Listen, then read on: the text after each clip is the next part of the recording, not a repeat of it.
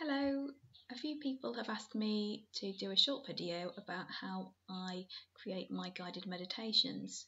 So I'm just going to run you through how I create them using Audacity and any video converter which I use to convert files. I also use the voice recorder on my mobile phone which is with Android. So first of all, I always write my script so write your script um, really clearly with really good punctuation because commas and full stops are really useful for helping you um, get the right um, flow of your text. And so do that first and then find somewhere really nice and quiet to record the words for your meditation.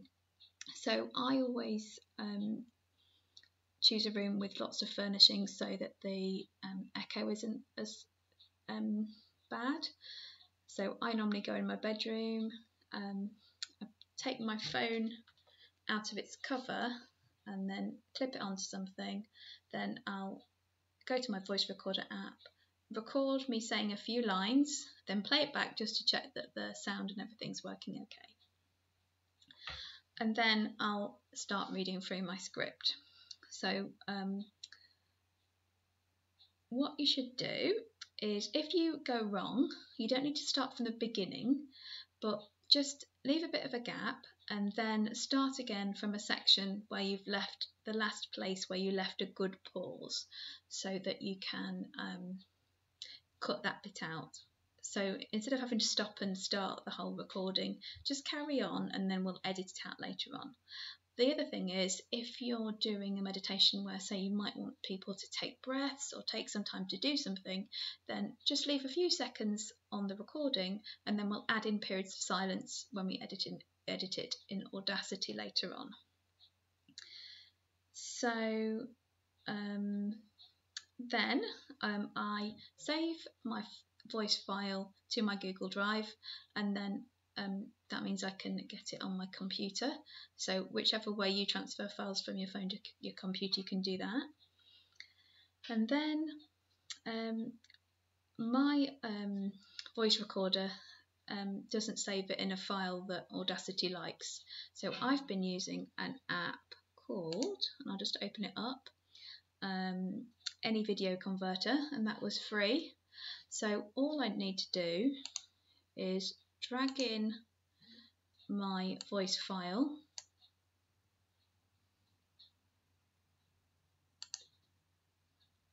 And then uh, the dot wav file or wave file um, is selected up here but you can choose various things.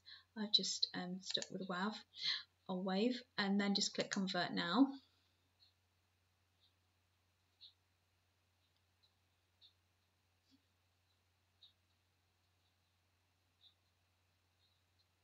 So there we go.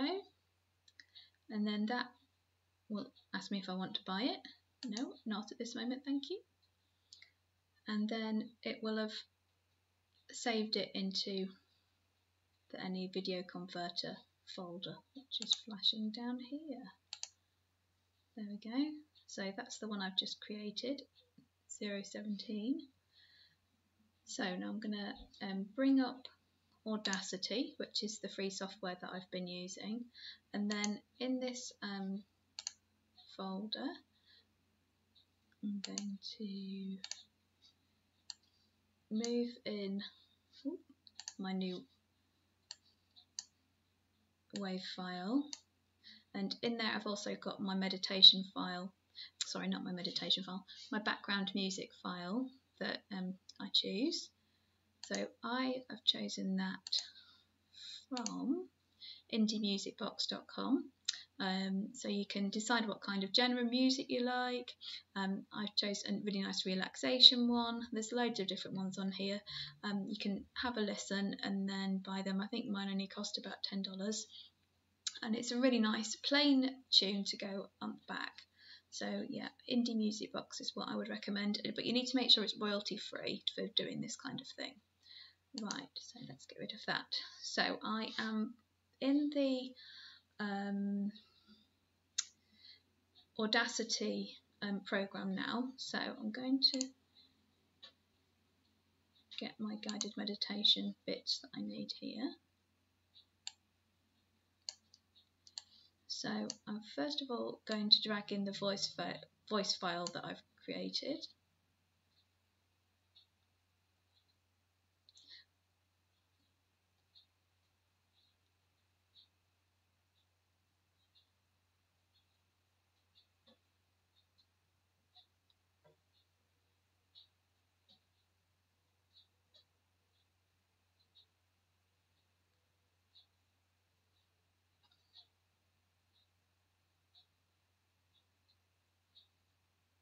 There we go, so that's brought that into the top. And then I'm going to drag in my background music to the bottom.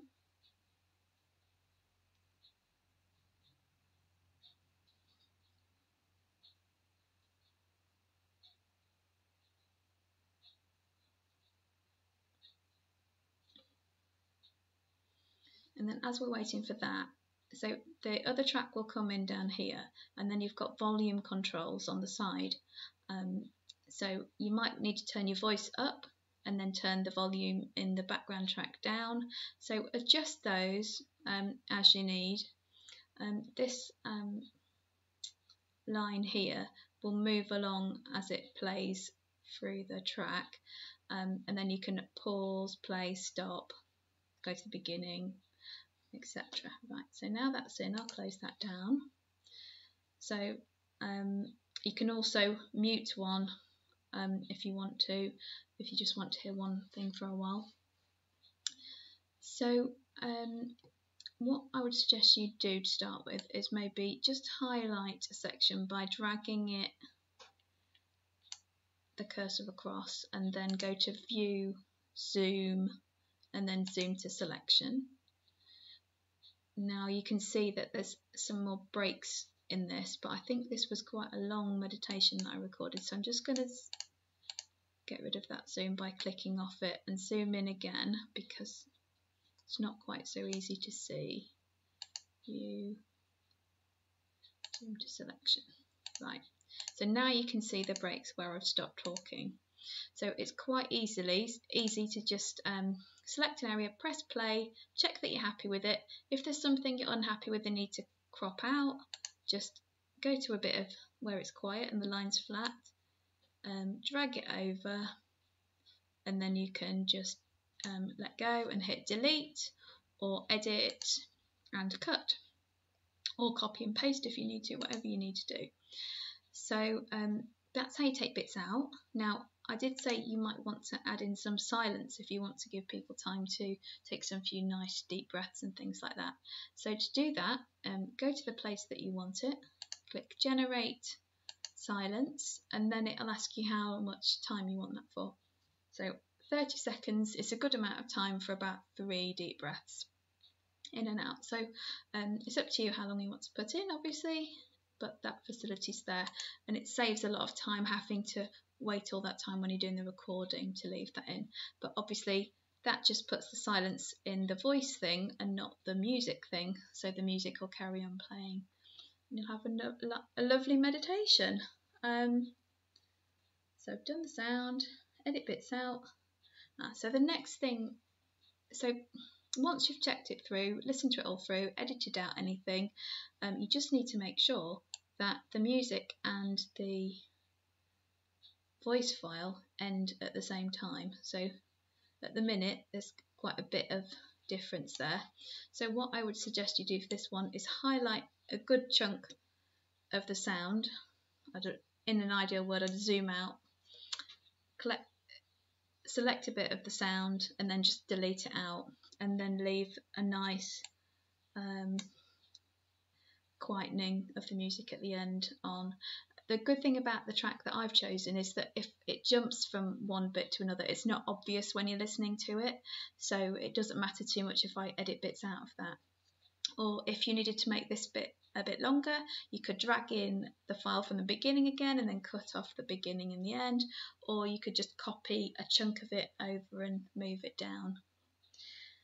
So um, then once you're happy with it all, you're ready to export it. So you just go File, export and export it as an MP3 or whatever you want to export it as.